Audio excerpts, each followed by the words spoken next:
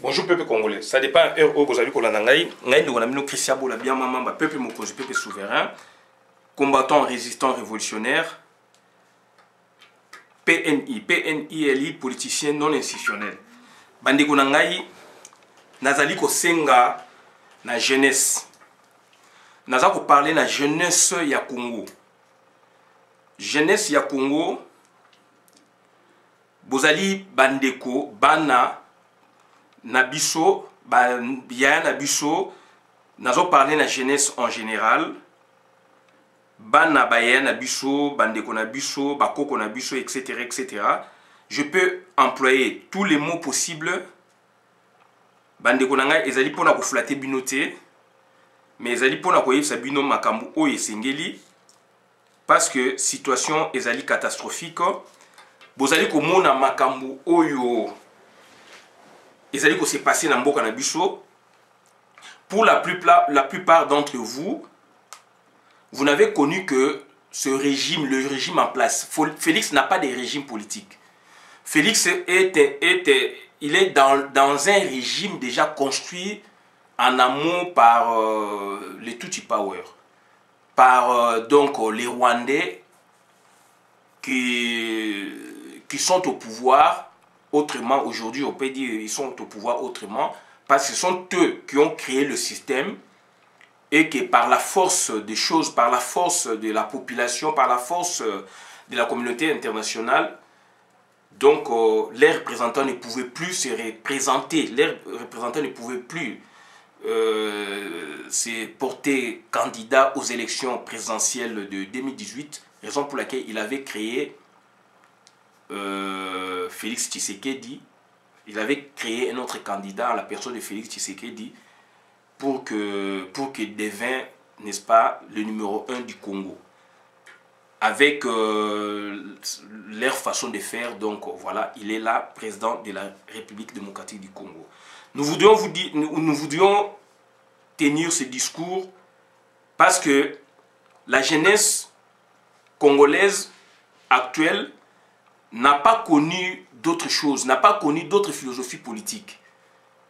Mais par contre, nous autres qui avons vécu bien avant eux, au pays bien sûr, on a connu euh, diverses euh, idéologies politiques. On a connu l'idéologie politique du MPR. Après, nous avons basculé, n'est-ce pas, dans le pluralisme politique, puisque avant c'était euh, le monopartisme, parties, mais après, à partir du 24 avril 90, nous avons vécu le pluralisme politique. Donc, c'est-à-dire euh, divers partis politiques. Donc, euh, ezali ndenge moko te idéologie politique euh, na oyo biso tovivre na ya bango eza ndenge moko te biso tovivre baidéologie politique ebele toke boye tozongi boye et c'était quand même des idéologies oyo efortifiaki biso ezali quand même idéologie oyo epesaki biso mayele oyo ekembisaki bongo na biso oyo epesaki biso ligne à suivre oyo ke lelo oyo bato oyo baforgeaki biso bazali lisusu te me totikali na bwania wana totikali na mayele wana me bana oyo babotami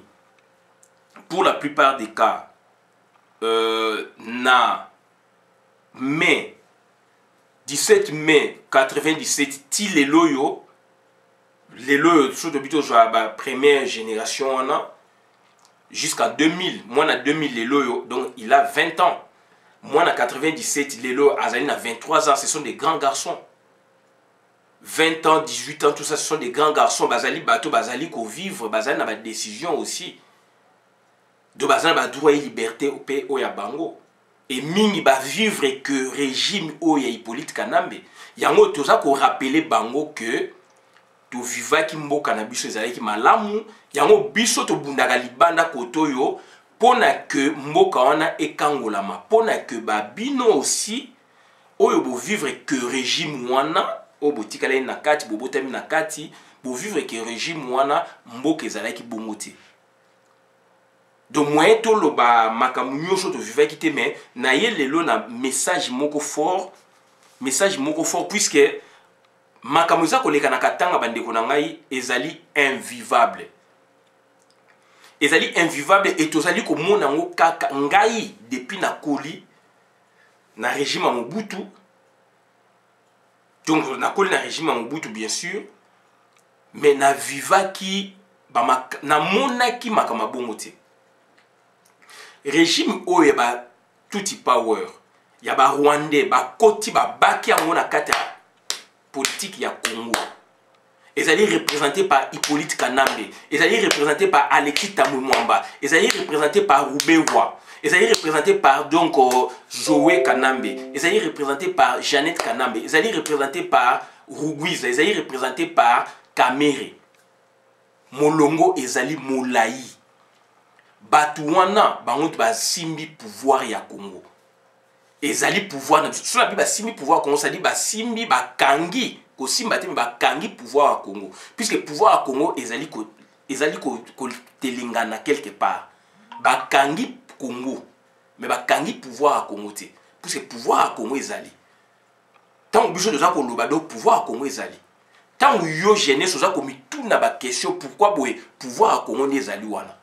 do ifo luka ye ifo kanga ye ifo zongisa ye na place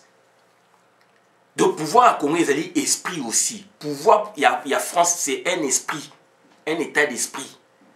donc pouvoir oyo ezali kuna lelo oyo ezali état d'esprit ya biso te ezali ya batuti koboma bato wana bandeko na ngai na vivre na sous le mpr parti état na vivre aussi na parti ya, ya, ya, ya transition démocratique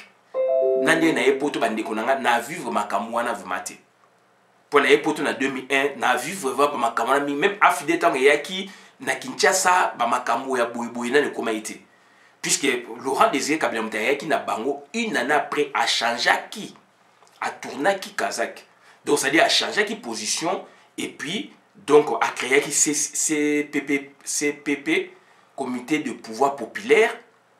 oyo ke na ideologie oyo apesaki wana donc azongisaki pouvoir na peuple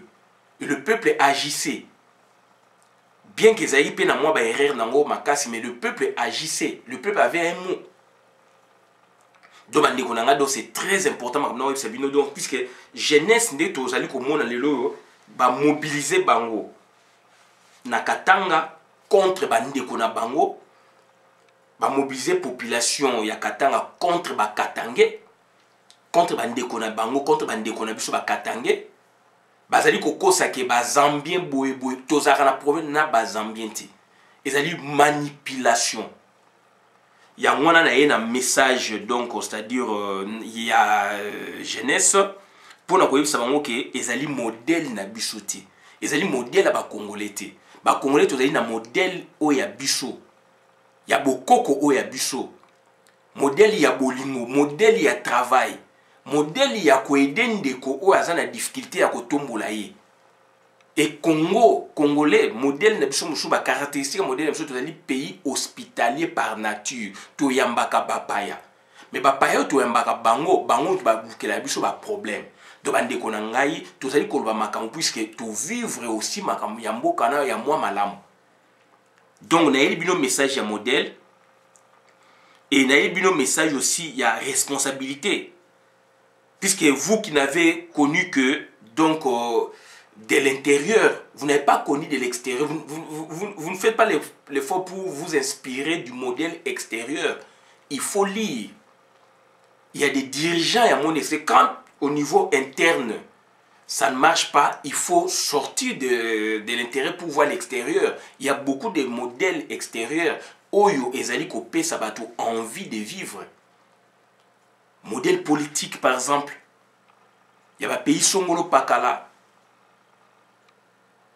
na kote na biso ya modele politike ezali ya angola modele politike ya angola ezali wana place ya lora sokoko avandi ya lora sokoko avandi un homme d'affaires donc euh, congolais angolais avandi na angola il faut tosinspire na modele ya société oyo ezali na angola lelo oyo nga na vivaki na angola na année 90 11 12 13 même 13 nazongi na année 93 nazongi euh, kinshasa mais du moins modèle oyo biso tovivaki na epoke wana na modèle oyo eza lelo na ngolo baya laurent sokoko donc bazali kovivre kuna donc ezali deux modèles différents tokoki ko s'inspirer na modèle ya angola ba jeune il faut lire il faut bosinspire na bamodele oyo ekopesa bino progrès na mboka modele oyo hippolyte kanambe aye nango lelo batie félix wana mais félix aza na pouvoir moko te toloba yango babomi bato na porte ya village na ye na kamwe na sapu agangi te alobi te puiske azali na kati ya masolo pourtant azalaki donc membre influent ya idps bien que papa na ye azalaki euh, papa na ye akufi papa na ye akufi je pense papa na ye akufi kambo na sapo ebimi ou papa na ye dongo na kambo na sapo ebimi donc félix azalaki actif puisque azalaki donc secrétaire général adjoint ya udps il pouvait dire il pouvait canaliser les choses dans entre temps bango moto bafacilite kabila bazwa bokonzi na transition sami badi banga ete premier ministre quand il y a eu massacre kamwi na sapu euh, sami badi banga ete premier ministre donc bandeko na ngai c'est-à-dire ce n'est pas notre modèle les tueries ce n'est pas les modèles congolais en tout cas nazali je m'adresse à la jeunesse congolaise le modèle l'archétype oyo ezali lelo na congo ce n'est pas l'archétype congolais c'est pas l'archétype congolo congolais c'est pas le modèle social ou sociétal congolais congolo congolais le congolais a un, a un modèle idéal Modèle idéal, il y a Congolais, et donc, c'est-à-dire euh, vouloir vivre collectif, l'entraide mutuelle, le pardon, ça, c'est le modèle congolais. Le pardon, ça, c'est le modèle congolais. Hippolyte Kanambe aza kolinga azonga pouvoir na pouvoir toyebisaki bino ke Hippolyte Kanambe a reprendre makambo en main tolobaki yango totiaki mai na monoko te tolobaki yango totiaki mai na monoko te Hippolyte Kanambe donc a reprendre makambo en main tolobaki yango tolobaki yango donc bandeko na ngai ezali mpasi mingi ezali mawa mingi na ndenge toza komona lelo oyo bamobilize jeunesse baza koboma bato baza kokosa oyo kuna baza bazambe oyo kuna boye ndenge basalaki na kasai na kamwe na sapu ndenge basalaki na kasai na kamwe na sapu ndenge basalaki na yumbi bakosi banunu na baboyeboye bakowela bawelaka eloko moko te makambo lokuta mpo na nini bango baboma puiske baza na baintere oyo bango bayebi oyo ngai na yo tokoki koimagine te me tokoimagine puiske ezali intere nango suka nango ezali ya conquete ya pouvoir suka nango ezali na conquête ya pouvoir ezali nini do kokabola congo mpo na bango bazwa me bawuti libanda baza bapaya ndeko na ngai mwana na ngai koko na ngai yo moto oza kolanda bango puiske ovivre kaka modele wana ndeko na ngai eza modele ya bien te raison pour laquelle biso bacombattant biso barésistant barévolutionnaire tozali tolobaka bozali lelo mobilise en faveur ya hippolyte kanambe mpo bosala bamassacre boboma na bandeko boboma na bino na bino bandeko bacongolais parce que ya l'absence ya le mutisme na endroit ya bapoliticien congolais bapoliticien wana oyo l'état congolais aza kofuta bango misolo batoni na parlement na assemblée nationale comme na sénat makambo ezali koleka jamais baza kointerpele gouvernement national comme provincial makambo ezali koleka na katanga jamais gouvernement provincial bakointerpele baministre bakointerpele ministre donc euh, ya intérieur par exemple donc euh, euh, ya province wana ou ministre provincial, je ne sais pas comment on appelle, donc provincial intérieur ou quoi, je ne sais pas, donc ministre et à tutelle, il y a Makamouana, jamais pas interpréter ni na niveau national, ni na niveau provincial. Toujours que là, tu na KO, tu vas mener du contre mi na KO. Pour na yo, bon, mandeko, non, pour na yo, il yo, alors que ezali jeu ya ba touti. Et pas na bango ba tuta bana maboka bandeko na ngai, yango ba yeli nango na Congo. yango bayei nango na congo biso toviva modele oyo te toza na 23 ans ya pinzoli ya mawa ya bitumba baimpose biso ye ya biso na biso te yango naza kosenga na jeunesse wana vous qui n'avez connu que de l'intérieur ce que vous voulez comme modèle qu'on vous a présenté c'est pas ça le modèle congolais il faut s'inspirer ailleurs il faut regarder le pays limitrophe malheureusement sur neuf pays limitrophes de notre pays, donc il n'y a qu'un seul pays, l'Angola, donc je cite l'Angola, que donc le seul pays pour lequel donc euh, nous pouvons, n'est-ce pas, nous inspirer,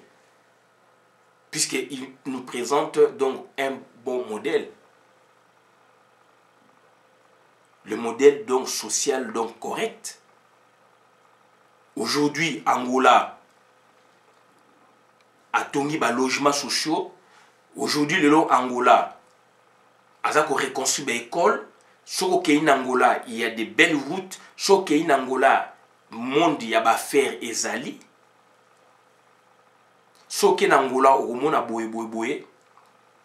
ya laurent sokoko azali kuna pour preuve azali kosala bafaire tranquillement c'est un grand exemple oyo ezali mpe koinspire biso parce que donc moko mpe ya biso azali kuna donc azali kosala bafaire aussi malamu so tobimi na afrique centrale ube tokende na mikili ya poto yango tonamemi bino nano na niveau nano ya zingazinga na biso mpo na tokende mosika te puisque bolobake so napesi exemple ya mindele bobano bamindele rete na bango na biso ekokani te yango namemi bino na zingazinga na biso angola ezali modèle aujourd'hui esengeli to copier modèle ya angola nous devons copier sur l'angola c'est ça le modèle actuel pene na biso na afrique bapays ya modèle ezali ebele so tobi tobima na poto bamodèle ezali ebele bandeko na ngai dongo nous devons faire beaucoup d'efforts mpo na baresponsabilité oyo toza nango yo congolais yo elenge yo jeune oyo ovivre ke kaka kabila kovivre kaka kabila durant temps oyo bozali permete nayebisa bino ezali malchance ezali malchance puisque félix n'a pas de pouvoir il faut même pas kocompte félix ezali malchance donc bozali na botombe na periode ya mabe bobotami na periode oyo afidèle barwandais bakoti et durant tout ce temps boza kovivre kaka bango na bamodele ya mabe modele ya balikunia modele ya bapoison modele ya bamachete bamodele ya baboyeboye ya kosimba mondoki koboma tata na yo ya kosimba mondoki koboma mama na yo tovivre yango na kinshasa na capitale un jeune homme ake koboma mama na ye na papa na ye puiske akendaki soki soki ameli masanga soki nini soki mpe ndenge bato balobi ke akende epa nganga mpona akoma na mbongo ebele abomi tata oyo ya ye mama oyo ya ye akundi bango na mabele wana eza modele na biso te bandeko eza modele ya babantu te bandeko oyo ezali kosalama lelo na katanga ezali modele ya bakongole te eza modele ya babantu te bantu azali mutu oyo azali na modele na ye ya kovivre differemment na batuti ezali modele ya batuti baye nango na congo ezali modele ya baruberwa modele donc ya ba moïse nyarugabo modele donc c'est-à-dire ya ba kyungu gedeon modele donc c'est-à-dire ya kamere modele ya ba jeannette kanambe hippolyte kanambe zoe kanambe paul kagame yori museveni eza modele ya bacongolais te vie ya bacongolais toza babantu vie na biso ezali yango te yango wana bandeko na ngai nazali kosenga na bino bolingo boboto ezonga na kati na biso toyokana mawa mboka ezangi tata mboka ezangi mama voici baresultat nazali kosenga na yo jeune Kanisa, sala vide na mutu na yo. Makambo ozali kosala na Congo, est-ce que ezali bongo? Hier abimisaki ba kuluna na Kinshasa, na ville ya Kinshasa capitale. Kuna bakata katanga. Ezali batu oyo ya créer, atindi bango mpo basele misala ya mabe. yango wana bandeko na ngai nazali kosenga na bino vraiment bolingo boboto etona na kati na bino donc euh, c'est-à-dire ezali mpasi mingi je parle de la jeunesse nayeli bino jeunesse bochange mentalité bochange modèle ntango bagouvernant bato baza na pouvoir bazali kobimisa modele te bokoki koinvente modele oyo ya bino yango napesi bino bokopie modele oyo ezali na katanga eh, na nino oyo ezali dongo na, na angola bandeko na ngai oyo nayaki ya koloba yango wana boyebaki bozali baresponsable responsabilité monene ezali kopese na bino na histoire ya congo lobi bana na bino bakotunaka bino papa osalaki nini na congo papa osalaki nini na mboka okoloba nini jeunesse ezali nde leta atiaka misolo mpo na jeunesse etanga ezwa ba compétence mpo na lobi ezali bino nde bozali avenir ya lobi bino nde bozali avenir ya lobi boza moteur ya, ya développement ya congo lobi ntango lelo bino bozali kobunga nzela babungisi bino na nzela na nko donc il y a un vide na mboka vide wana na esprit bango baza nango bavanda longtemps na congo puisque ja 23 ans balekisi biso boye bakoya na jeunesse oyo ya bango oyo babimisi bango na bamboka yango batindi bango na libanda batanga bayekola bazwa mayele kuna batye misolo awa batye misolo te baza koboma bino bato wana bakoya boza na bango bambula moko bakozala bapatron na bino bachef na bino baresponsable na bino e bango lobilobi bakozala na besoin na bino te bakobenga lisusu bandeko na bango mpe bakozwa main extérieure qualifiante mpona basala mboka etambola mais dirigé par bango alors il fallait eza dirigé par bino ndeko na ngai bose réveiller babourse d'étude oyo esengelaki bapesa bino jeunesse bapesa yango bana wana bandeko na bango bana na bango bakoko na bango batinda bango na mikili ya poto na états-unis na bourse ya l'état congolais batanga basilisa bakoya comme bacongolais ya lokuta bakookipaka baposte ya minene bakozala bakonzi ya mboka oyo lobilobi biso tokozala te tokolembaka tokokufaka e mboka ekozala na vide bango bakomi batete pensante ya mboka bakomi baresponsable ya mboka yango naza koloba na jeunesse responsabilité na bino eza wapi vide ezali yango tomibengi politicien non institutionnel bapoliticien oyo bazali na kati ya mboka oyo baza kolia mbongo ya mboka bobengi bango ba député entre guillemets bovotaki bango bovotaki bango te banoma bango mpo basela bango mpe mosala nde baza koutilize bino bakokoka kolobela bato oyo batiaki bango wana te bato wana banani batuti pawe donc représente ba hippolyte kanambe azeres ruberwa vital kamere jeannette kanambe zoe kanambe deograce euh, boyeboye etc bizi makarba aza molongo molai